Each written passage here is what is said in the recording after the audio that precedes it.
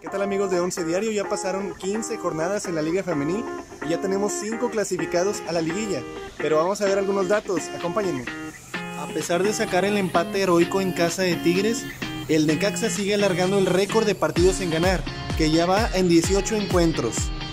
Gracias al golazo de Lucero Cuevas, las Águilas pudieron tomar revancha de su único descalabro en el certamen. Además, cuando Cuevas marca, el América lleva ya 16 ganados de forma consecutiva. El gol de Alejandra Calderón ante Chivas representó el número 50 de Monarcas en la historia de la liga. Ya solamente faltan 5 equipos por llegar a esa barrera. En la corregidora, Dinora Garza dio una asistencia y estableció un nuevo récord para rayadas en un mismo torneo. Y aún faltan 3 partidos por disputar en el clausura. Amigos, recuerden que tenemos exclusivas, estadísticas y mucho más solo en oncediario.com.